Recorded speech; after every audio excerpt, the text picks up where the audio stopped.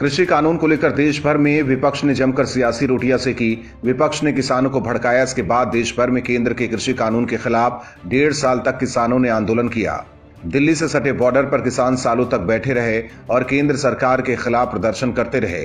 किसान आंदोलन के अगवा भारतीय किसान यूनियन के नेता राकेश टिकैत थे, जिनको विपक्ष का समर्थन मिला हुआ था। टिकैत बार बार किसानों को उकसा रहे थे। वहीं किसानों के प्रदर्शन को देखते हुए केंद्र सरकार ने कृषि बिल वापस ले लिया। कृषि बिल वापस लेने को लेकर जहाँ किसान अपनी जीत और सरकार की हार मान रहे थे, वहीं अब चौंकाने वाले खुलासे सामने आ रहे हैं। अब जो खबर आई है, वो राकेश टिकैत के लिए बड़ा झटका है। दरअसल केंद्र सरकार की तीन कृषि कानूनों को लेकर सुप्रीम कोर्ट की पैनल ने बड़ा दावा किया है। रिपोर्ट में कहा गया है कि छियासी फ़ीसदी किसान संगठन सरकार के कृषि कानून से खुश थे। ये किसान संगठन करीब तीन करोड़ किसानों का प्रतिनिधित्व कर रहे थे।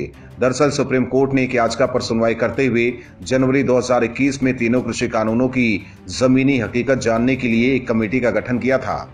इस कमेटी में कृषि अर्थशास्त्रियों को शामिल किया गया था। एक रिपोर्ट के मुताबिक कमेटी ने मार्च 2021 में अपनी रिपोर्ट सील बंद लिफाफे में सुप्रीम कोर्ट को सौंपी थी। रिपोर्ट में सरकार को कृषि कानून से जुड़े सुझाव भी दिए गए हैं। कमेटी ने जो रिपोर्ट सुप्रीम कोर्ट को सौंपी है, उसमें कहा गया है कि फ़सल खरीदी और अन्य विवाद सुलझाने के लिए एक वैकल्पिक व्यवस्था की ज़रूरत है। कमेटी ने सुझाव दिया कि इसके लिए किसान अदालत जैसा निकाय बनाया जा सकता है। कमेटी ने यह भी कहा है कि कृषि के बुनियादी ढांचे को सुधारने के लिए एक बॉडी बनाने की ज़रूरत है। वहीं ये भी अनुमान लगाया जा रहा है कि ये रिपोर्ट जल्द ही सार्वजनिक हो सकती है। वहीं दूसरी तरफ़ राकेश टिकैत दावा करते आ रहे हैं कि ये बिल किसान विरोधी है, लेकिन रिपोर्ट सामने आने के बाद अब टिकैत के दावों की पोल भी खुल गई है। हालाँकि टिकैत अब पूरी तरह एक्सपोज हो चुके हैं। यूपी चुनाव के दौरान टिकैत अपने समर्थकों से बीजेपी को सजा देने की अपील करते रहे, लेकिन टिकैत के गढ़ में भी बीजेपी ने भगवा लहरा दिया। ऐसे में कहा जा रहा है कि किसान बीजेपी के साथ हैं।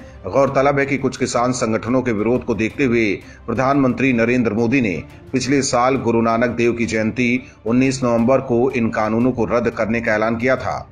पीएम के कृषि कानून रद्द करने की घोषणा के बाद दिसंबर 2021 में किसान संगठनों और सरकार के बीच अंतिम दौर की बातचीत में कई मुद्दों पर सहमति बनी थी। इनमें एमएसपी तय करने पर कमेटी बनाने, मृत किसानों को मुआवजा देने और किसानों पर आंदोलन के दौरान लगे मुकदमे हटाने पर सहमति बनी थी। Bureau report, OMH news. और भी वीडियो देखने के लिए चैनल को सब्सक्राइब करें और बेल आइकन को दबाए।